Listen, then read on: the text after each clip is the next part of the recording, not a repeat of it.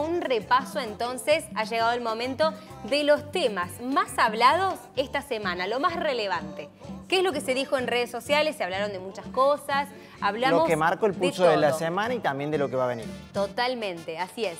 Bueno, como uno de los temas principales tenemos a Paulo Londra que ha vuelto con la música, así es, que ha He's estado... back. Él es, sí. Así se anunció. Mira la con, imagen. Con esa imagen, sí, ¿no? Con esa imagen. Esa fusión de la cara de Paulo con el león. ¿Después de cuánto tiempo, compañera? Y creo que fueron dos años, si no me equivoco, que estuvo, que estuvo alejado de la música, alejado de los medios de comunicación, porque estuvo con una discordia, eh, con Una batalla legalmente, legal, claro. sí, con una Con la discografía. productora Big Ligas, Así este, el famoso movimiento Free Paulo, por el cual se movilizaron muchísimos artistas, eh, tratando de que Paulo volviera a hacer lo que sabe, que es música con mucho flow y batir todos los récords. Así es.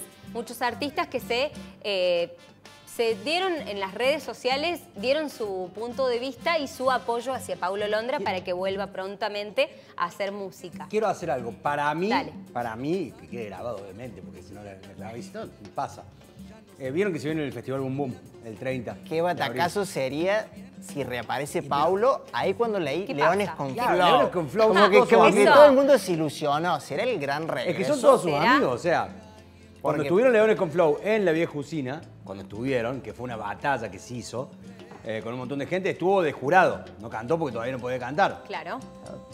Ah, qué lindo que sería. Qué lindo que sería ahí en el Boom Boom, un regreso No, no. triunfal. Porque encima... Pero no con una canción de Paulo, que suba a hacer un- una canción de la mona con la mona. Total, Canta Estaría ¿sabes una qué buenísimo. sería eso? Boom, para todos lados. Porque encima no tenemos fecha de regreso. Lo que sí hubo fue la publicación de Warner Music, que hoy también volvió a calentar la previa con un videíto, por lo cual habrá que esperar, pero bueno, es un regreso que más que esperado por todo el público. Totalmente. Y queda que hablar en los medios y queda que hablar más que nada en las redes sociales.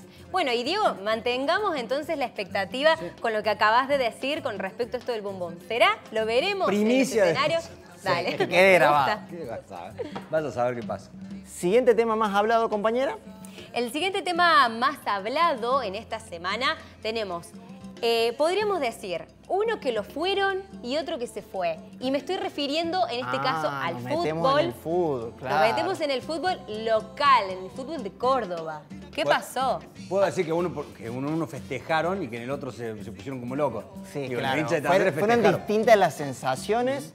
Ahí vemos en pantalla a Ángel Guillermo Hoyos con Andrés Fassi en la conferencia en la que anunciaron la salida del técnico que logró eh, solamente sumar dos puntos en seis presentaciones. De Guillermito, como dijo Andrés. En la presentación también lo presentó, o sea, valga la redundancia, Como. Guillermito, raro. Yo no me lo ima- imagino a Fassi diciendo Francito cuando lo presentó a Kudelka. Claro. Este, sonó raro ya en ese momento. Y un técnico que también. eh, Que se fue. no, so- no, no, pero no Ah. solo Hoyos este, generaba un poco de, de discordia con la hinchada por cómo jugaba Talleres, sino también cómo declaraba. O sea, pasaba que el hombre eh, hablaba constantemente de la Hoy fe. tenemos un entrenador acá, le vamos a preguntar eso. Ah, sí, nos vamos a meter Si con las eso. Sí, sí, declaraciones vamos. más- Perfecto. si son más importantes las declaraciones, cómo declarar después de lo que viste en el partido o lo que pasó en el partido. Que el partido, totalmente. ¿De qué hablar? Es muy buena, muy buena pregunta Eh, para es raro hacer. el tema.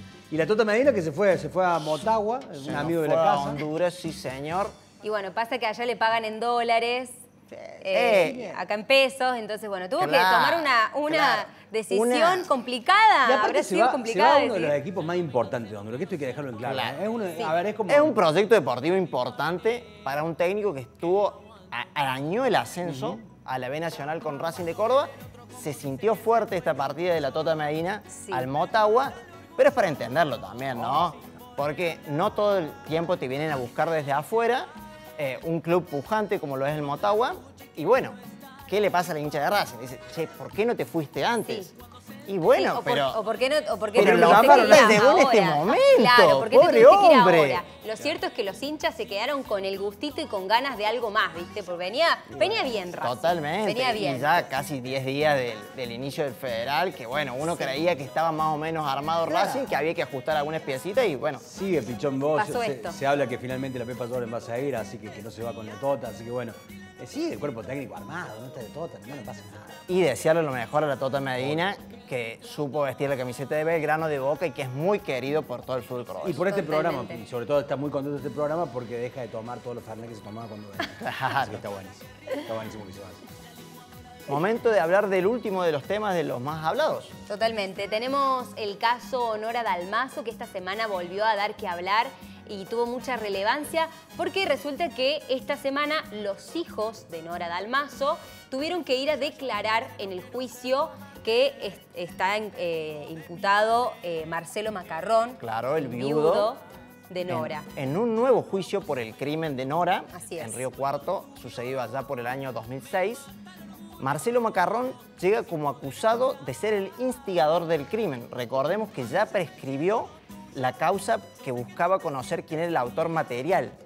Por lo cual, ahora lo que trata de eh, descifrar la justicia es si hubo participación del viudo por un tema de un móvil económico, que es la, la hipótesis que maneja el fiscal, y tratando de saldar una deuda de la justicia con, con el pueblo cordobés, ¿no? Porque no puede ser que haya sí. sucedido un crimen así y ya pasaron más de 15 años y todavía no se sabe qué pasó con Nora Dalmazo. Totalmente, Agus. Los hijos en lo que eh, declararon en el juicio y frente a la prensa es que este caso, años atrás, fue muy manipulado por la prensa y que, bueno, como familia se, se separaron muchísimo con esto, separó muchísimo la familia, todo lo que pasó con, con Nora.